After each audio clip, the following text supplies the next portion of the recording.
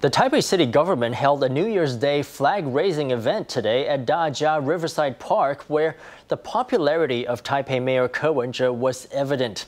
PFP presidential candidate James Soong, his running mate Hsu Hsin-ying, as well as the DPP and KMT vice presidential candidates Chen Chien-jen and Jennifer Wang all attended.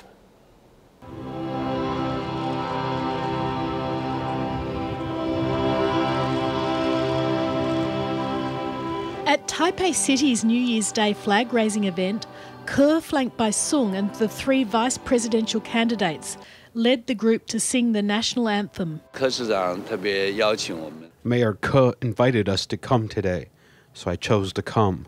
Don't forget that I am also a chief consultant to the Taipei city government. After the flag was raised, Soong stayed on to listen to the morning concert and even gave an impromptu rap performance.